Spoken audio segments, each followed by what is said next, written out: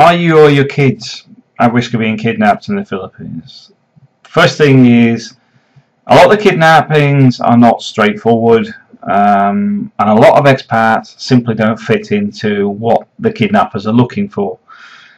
The people that are normally kidnapped are predominantly Chinese and Indian, uh, where the Chinese business people and Indians are predominantly involved in what's called the 5-6, which is the money lending.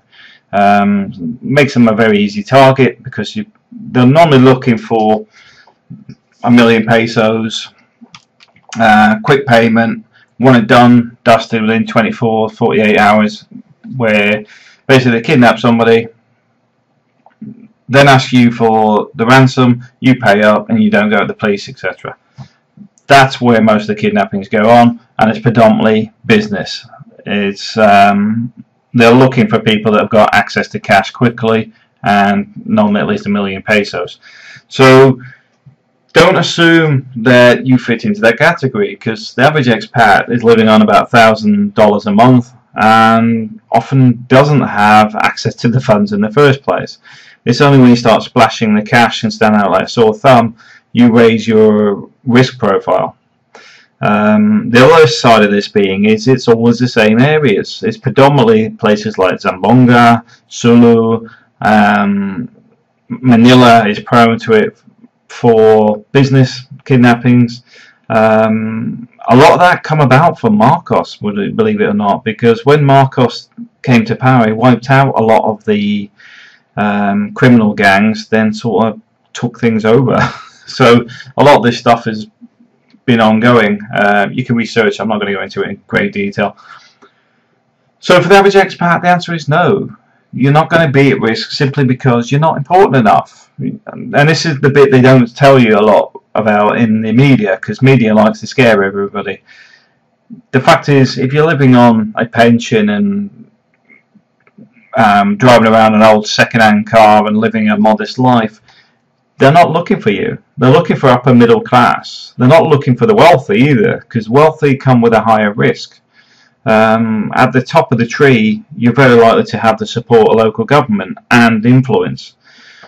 They don't want that amount of static. They don't want somebody that can actually make their life a nightmare. They're looking for people they can isolate and pick off easily.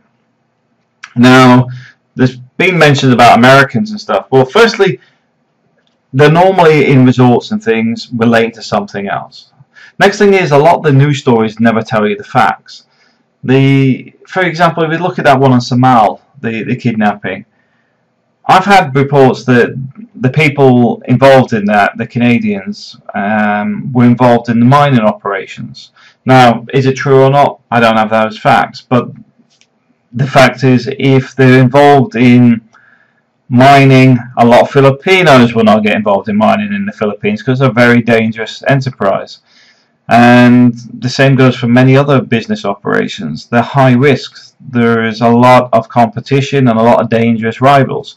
So a lot of stuff is not as obvious as it seems. So just go, oh, they've randomly kidnapped these Americans.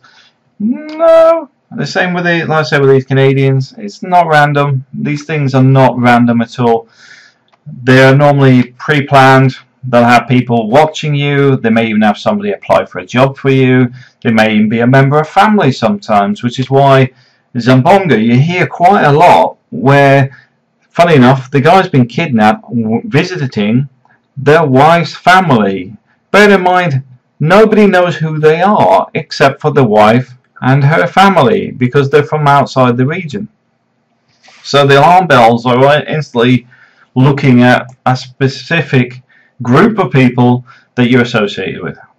So this is why I'm saying it's not as clear cut as they make out in the media, but you're not wealthy enough. The average expat is not wealthy enough to even get on the radar. Um, which means your kids are safe, you're safe, because you're not really bothering anybody. You're more likely to have a run-in with the local thugs over um, something you've done to provoke them. Um, that's that's been where I've seen three expats have problems because they've upset local thugs that um, basically they wouldn't even bother in the expat. It's the expat that's actually instigated it with the um, confronting them doing something stupid. Um, the fact is, the local thugs they do stupid things. It's a bit like going into wherever you are, US, UK, whatever, and confronting a local gang in your own neighbourhood. You're not likely to do it. I know we'd all love to say, "Oh yeah, we're weird," etc., but they always create problems. That's the thing with gangs. They're they're they um, they work on being a pain. They work on being a nightmare. And the problem in the Philippines, life is cheap, money's cheap. Um, sorry, guns are cheap. So if you're just living an average life, nobody's going to bother you at all. Um, like I said, like I said with Zamboanga, it's been a lot of people's partners that have been involved. They don't really talk about that, but it's the only link that makes any sense. Because if they're outside the country and just visiting, visiting the wife, oh look, he's got money. What a surprise! That's why I'll just stay clear of it. It's just not worth the hassles. Places like Sulu, Zamboanga, keep them. I'm not interested. I'd rather stop them somewhere like Cebu or somewhere else that's nice and quiet and nobody's bothering me or trying to do anything stupid. Alright, thanks for watching.